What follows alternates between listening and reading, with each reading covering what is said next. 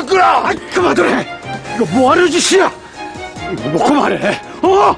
이거 놓아! 야, 상남아, 네가 먼저 놔라, 응? 야, 이 자식아! 야, 이 자식! 빨리 와! 나 바다가 튀어! 이 자식아! 야! 자식 이리 와! 왔어!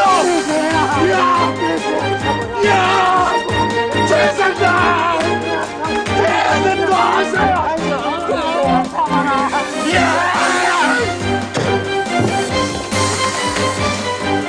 왕왕왕! 나와봐라!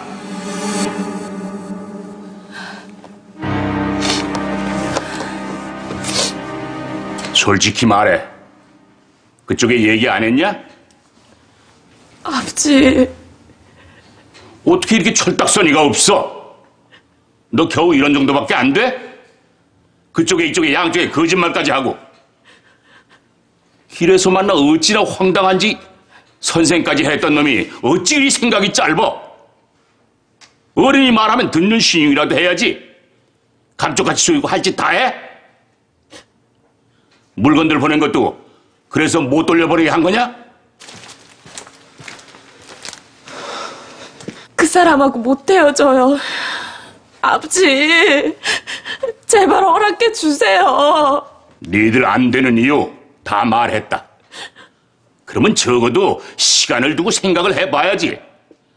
그만큼 배우고 알만한 녀석이 앞뒤 분간도 못해?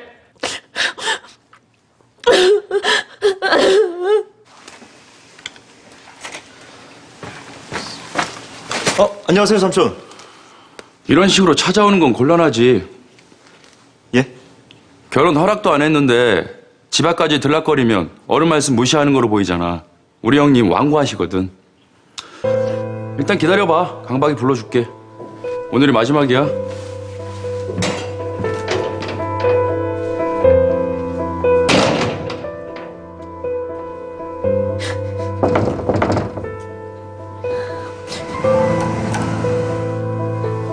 강박아, 나와봐라. 친구 같더라. 누구? 이, 이 영달이요. 들어오라 그래. 들어올 상황이 아니라서요. 강박아, 없다 그래. 나 지금 친구 만날 기분 아니야. 뭐 좀 물어보러 왔대. 잠깐 나와봐. 삼촌이 말하면 좀 들어라. 나가봐라.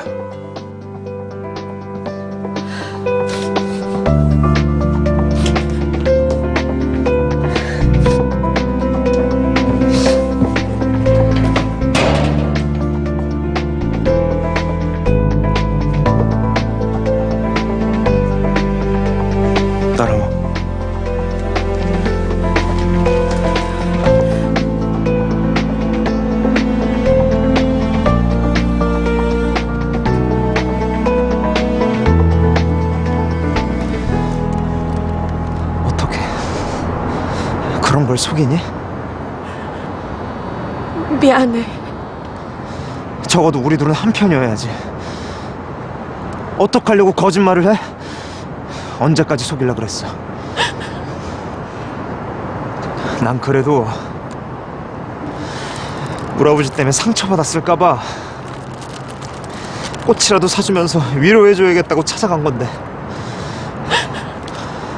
시간 좀 달라고 시간만 주면 우리 아버지 얼마든지 설득할 수 있으니 아무 걱정 말고 기다리라고 그 말하러 간 건데 허락 받으면 말하려고 했어.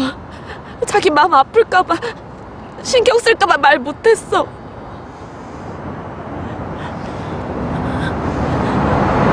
우리 헤어지자. 상남 씨, 난 오라버지 이길 수 있지만 넌 아니야. 그리고 이건 이기고 지는 문제도 아니고 인연이 아닌 것 같다. 이쯤에서 끝내는 게 널 위해서 말도 안 돼. 이런 법이 어딨어. 나란 사람 너에 비해 턱없이 부족한 사람이야. 엉강생심 내가 무슨 꿈을 꾼 건지 너랑 나랑은 너무나 달라. 가정 환경도 그렇고